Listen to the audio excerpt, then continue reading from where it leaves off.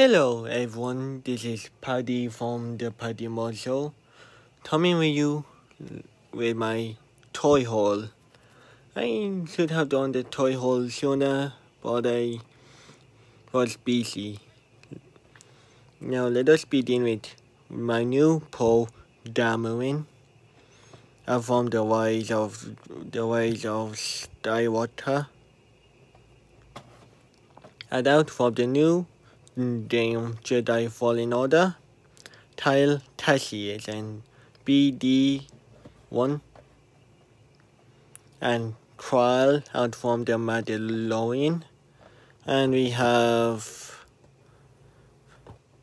all four plus the child.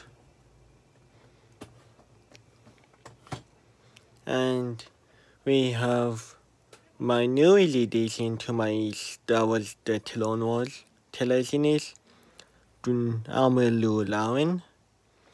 The paint job on him is amazing.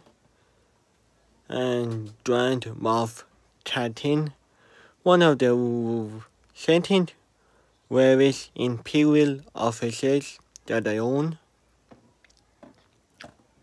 Last but not least, the second sister and from the Jedi Fallen Order.